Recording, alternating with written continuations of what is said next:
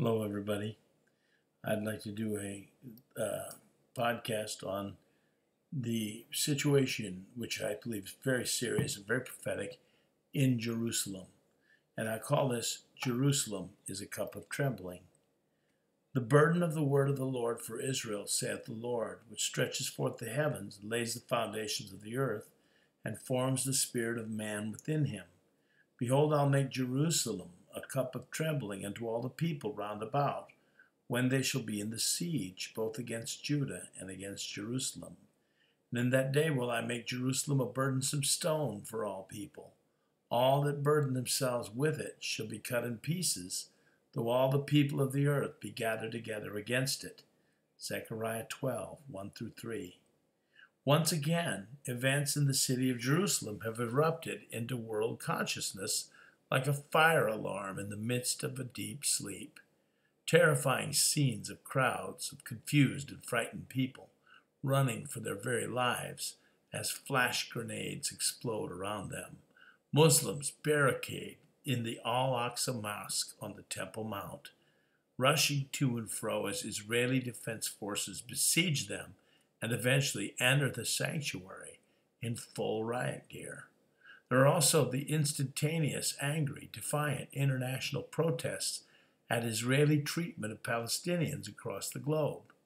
In what seemed to be a perfect storm of events, a national celebration of the, for example, a national celebration of the annexation of Jerusalem by the Jews in 1967, called Jerusalem Day, also the final Friday service of Ramadan, Furthermore, an Israeli court case in which Jewish plaintiffs sued for the eviction of Palestinian families from their homes in East Jerusalem, and the onset of a new American political administration hostile to Israel. Well, with the confluence of all of these, the tensions have exploded into a firestorm of violence. The prophet Zechariah predicted that God would make Jerusalem to be a cup of trembling to those who were round about her, making them to go crazy and unleashing among them self destructive impulses as a divine judgment upon them. Jerusalem, you see, is the most important city on the earth.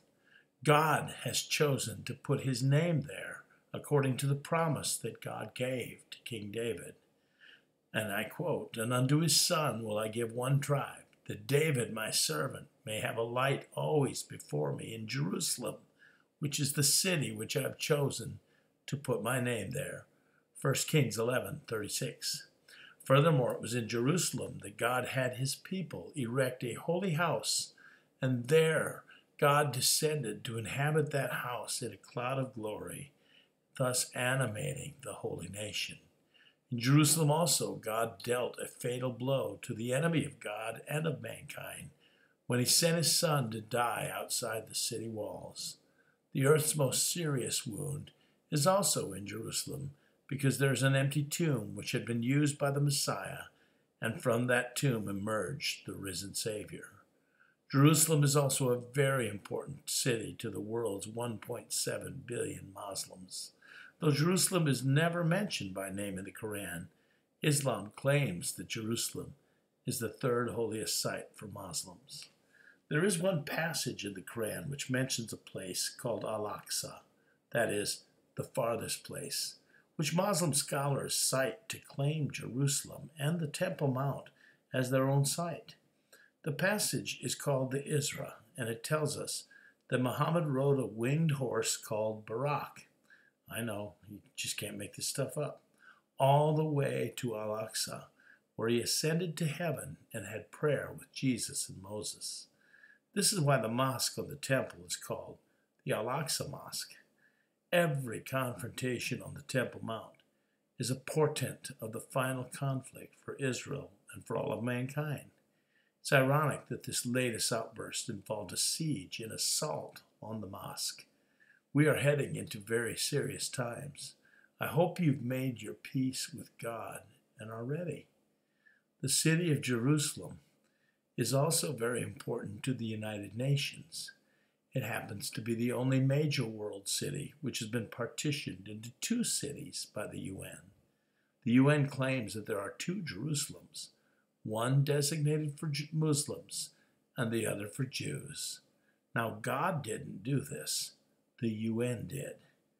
A Jewish young man who was born in Jerusalem but was a U.S. citizen applied for an American passport some years back.